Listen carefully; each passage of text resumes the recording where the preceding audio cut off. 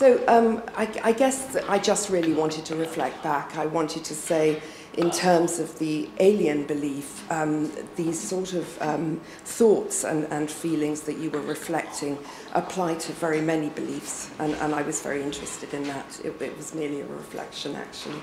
Okay, great. Yes, thank you. thank you. Mr. Graham wants to comment. Um, yeah, I, in, in relation to the first point about, yeah, uh, it, people do.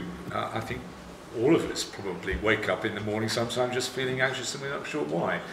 Um, when, when I say that uh, explaining, uh, trying to find an explanation for your anxiety is important, um, I don't mean that you should dig on your own around looking for a reason for why you're anxious, because uh, that, in most cases, doesn't help. And I remember doing a podcast about the book, and, and the interviewer was saying to me, um, well, look, I spent ages trying to understand my anxiety, and, and it just made me feel worse. Um, that's not what I mean by an explanation. I mean, uh, I, what I mean is an understanding of the psychological processes by which uh, these feelings come about, which uh, are probably the same for all of us. Those processes are the same. Um, and that's what I think people, I think uh, for me, that was what, what was important for overcoming anxiety. Um, and I think, yeah, I wouldn't, I wouldn't recommend that on their own people sit around trying to ruminate about their anxiety at all, because um, that can lead you into areas where it's just going to make it worse if you're not careful. So it was the scientific angle.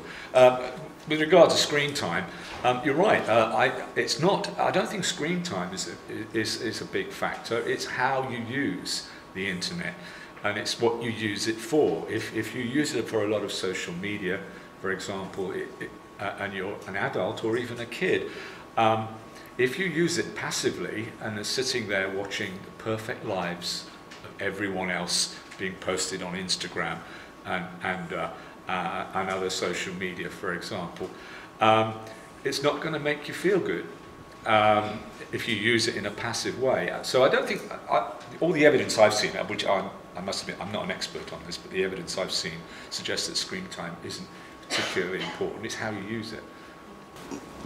Uh, thank you very much, uh, Graham and Peter, for your presentations. Uh, so I'm Chris, I'm from the uh, UK government, and I was just hoping to ask a question mainly for the the defence section about what lessons we can learn potentially from the Cold War, um, from the difficulties that uh, defence might experience around not being able to answer some questions directly with classification issues or catering to issues which generally um, are quite controversial by nature and are manipulated by um, our adversaries. The, the information space is contested. The views of psychologists are often used against them um, by state media campaign.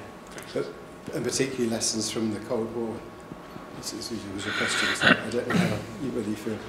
Um, yeah, that's a really hard question. Um, I think there's a lot of good that the problem of anything, any kind of covert knowledge is that it, it always invites speculation. And I think there's a there's a really good book on the history of the Cold War and conspiracy um, by Timothy Melley, and he uses this term, the covert sphere, which is, and he describes it as a kind of space, as opposed to the public sphere. It's a space for the public to fantasize about what the um, national security state might be doing. Um,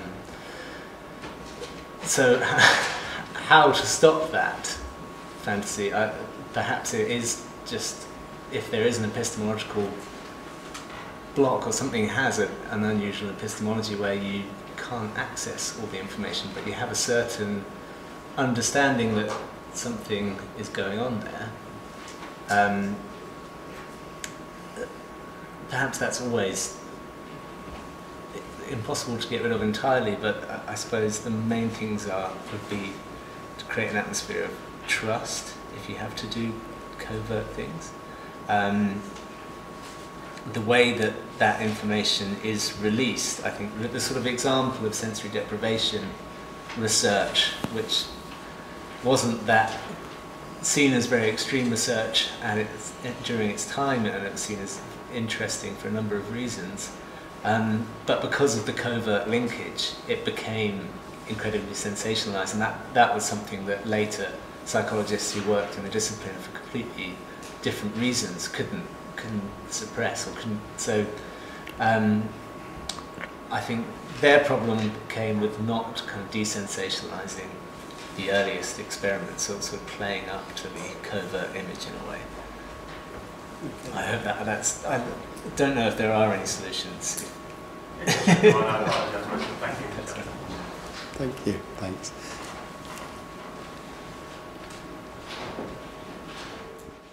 Hi, my question is to Graham Davey, but it can be answered by all three. Um, and the question is about what would you imagine this rebranding of psychology as being? And just to give a little bit of background, not too long, um, I'm a Sussex psychology grad, and I loved every single year. It was better and better. And then I graduated, and I was like, um, if I go down the academic route, none of my friends or anyone I want to help will be reading the academic papers. Um, and if I go down the clinical route, it's very long and I'm helping only a few people. So I was lost for years and years and years and kept looking at masters. It was only until I discovered coaching psychology and positive psychology as a master's that then it kind of clicked. And I thought the way now psychology is moving with that, it's like a more active and dynamic vehicle of delivering psychology. And uh, what you spoke about, the 75,000 people enrolling, afterwards, maybe there's people like me being like, but how can I actively put this where people are going to be searching for it? Yeah, again, um, I, I don't have any answers to that one particularly uh, because I only thought of the idea of rebranding a couple of days ago in the sense that, yeah, you know. Love uh, it, it has legs. Uh, it, it's, it's a long word, psychology, and uh, uh, it's, a, it's a word that uh, most people have different meanings for, um, and, and that is problematic. And I, I think, you know, psychology needs to promote itself. And, uh, and again, the society has been doing this. It needs to promote itself very broadly. Uh, and, and it does try to do that across all of the spheres of, of its potential, the potential help it can provide and things like that. Um, and, we, uh, and we have to do it um, because otherwise um, other pro- related professions will simply hijack it. Uh, like psychiatry, for example, has hijacked a lot to do with mental health, and they're seen now as the body to go to for mental health uh, information and instruction and so on and so forth. And okay, they, uh, they, they have a um, they do have an important role to play in in uh, the NHS, for example. So yeah, uh, they are important, but they do hijack uh, psychology in many ways and, and promote it in their own way as being mental health is a biological thing, not a psychological thing necessarily. Uh, so I think we need to be aware of that. Um, uh, the coaching thing, I think that's fine. There was, you know, I mean, again, I'm not sure how we. Uh, we don't want our subject matter to be hijacked by other groups uh, in, in, in a negative kind of way, but equally, we don't want to tread on the toes of other uh, aspiring groups. So, um, again, I, I, I don't know what the answer is, I'm sure. Um, in a very small way, we've done a bit of rebranding in um, uh, with regard to politics and psychology, and that there has been recently a, set up a political psychology section of the British Psychological Society, which in itself is a, is a quite a remarkable development in that direction. And one of the interesting things in relation to the point that Graham's made about hijacking is that it, we also have now close relations with the Political Studies Association. And one of the interesting things is that political scientists not, I wouldn't say hijack, but they are using psychological concepts all the time in a way that makes no reference to the extensive literature on those concepts in psychology. So, in a sense, establishing that kind of dialogue is really quite important. And I think, in that sense, I think the fact that um, uh, psychology I would argue has and can do interesting things to say about politics is in a sense quite uh, at odds with the kind of notion of psychology as psychologists are that people who deal with people who've got mental disorders you know so I think it, it's making this is a much a broader kind of sphere Mm, great, thank you. Thanks. My name's Sophie. I'm a forensic psychology trainee. Um, thank you, all of you. That was thoroughly um, enjoyable, all of the presentations. And I guess this is a question to all of you. I wondered what you thought about the benefit or the consequence maybe of bringing method into communications with the public as much as content. And I wondered if some of the resistance and dismissal that we might get is not so much to the content of what we're saying, but that our rather positivist empiricist way of looking at things is, is sensed and, and rejected and perhaps feels a bit alienating for some people who might have different implicit theories of, of knowledge. And is there any utility to actually explicitly stating this is what we found, but also this is how we found it and this is why we believe this is a valid way of finding it? Thank you context? Uh, I mean, I could, I could talk a great deal about method. I have 35 minutes to, to this friend. I didn't want to get uh, too bogged down there. I mean, certainly I would not accept the positive, positivist label. I mean, the, the work I do is empirical, undoubtedly, and there's a great deal of work that we, we do on the detailed analysis of transcripts and videos, which is also interesting because it's something that people can see uh, you can point things out and they can see these things, and I think that makes it very compelling. So that in a sense, I always say that microanalysis has three dimensions. Um, it has the results, which I've talked about.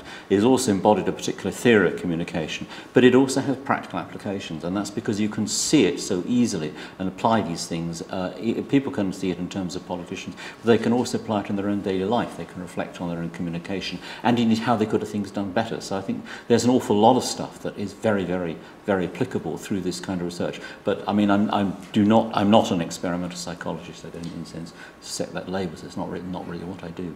I think the question was more about ontological and epistemological, epistemological position uh, and stating that openly. I don't know if you want to. Well, I, I could, as I say, I mean, I'm saying quite openly. I mean, my, my position is, is not that of, of a positivist, um, and I, typically I don't do experimental research. I, I actually get transcripts and I analyze, I'm looking at the relationship between different elements. So it's a very different uh, methodology. And also it's a, it's a kind, in a sense that, that um, uh, a lot of what I, experimental methods are not really a very appropriate way of, of going about it.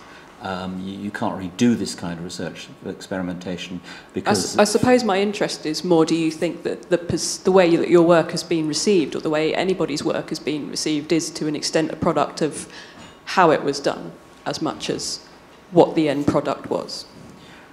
I think in the case it is because I think, as I say, pe people can, can see this and they can hear it and they can see it and you can point out things because you can see how it's it's actually so. It is the the uh, the uh, technique of analysis is very overt um, you, you can actually go. Uh, and I think in that sense, a kind of rejection of more traditional approaches to communication where people use, uh, they use very detailed coding systems, which arguably then you, you, you, it's a sort of Procrustean bed in which you, you force all sorts of events in particular categories where they don't really belong.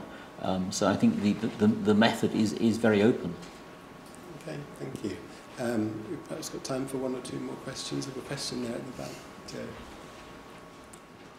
Yeah, wonderful presentations. Thanks very much. Joe McDonough, Occupational Psychology. In particular, Peter Bull, could you talk very briefly about the three different speech functions you were, you were alluding to there?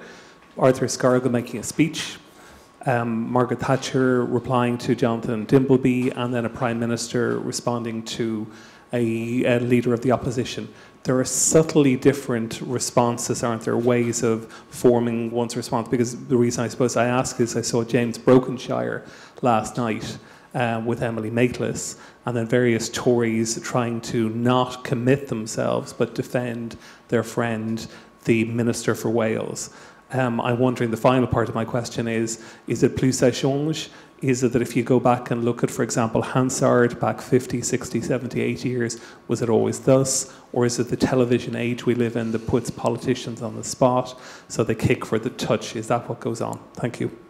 Um, I think you're asking me an awful lot of questions there, actually. I'll try and pick up one or two. Uh, just a very quick observation about Hansard is, of course, not a verbatim record of uh, Parliament. It's, uh, it's, it's organised to make it readable. Um, so it, we, we, don't, we start with Hansard, we take turn to, turned into a verbatim record, which it isn't. Um, I mean, one of the, I think you alluded to is a very important point, that context is really important. I've talked about speeches uh, parliamentary questions and, and broadcast interviews. They're different contexts, so the way that a, a politician may behave in a broadcast interview is going to be very, very different from the way that they will behave in, in in parliamentary questions, the fundamental difference being that in a broadcast interview, they're being interviewed by a professional interviewer. In parliamentary questions, it's, a, it's another politician, and typically uh, uh an, an opposition politician. Um, we're trying to extend historical analysis. I've got a colleague in political science in, in, in Scotland, and we're, we're hoping to extend our PMQs analysis through some historic analysis. One obvious question, for example, is if you look at the if you look at Cameron, May, and now Johnson, the reply rate is going steadily going down. It's getting worse and worse. Now, what was, if you look at, say, Blair or Brown, or even go further, what was the reply rate? We, we need that information. We don't have it. And that's one of the, the historical approaches, one of the things that, that we're going to do, because want to, one of the thing questions people often ask is, is it the case that our, our political discourse is simply deteriorating and they're getting worse and worse? Uh, or are there examples from previous decades which might contradict that? So that's a, a very, I think it's a very important question, and it's one that we are actually hoping to address.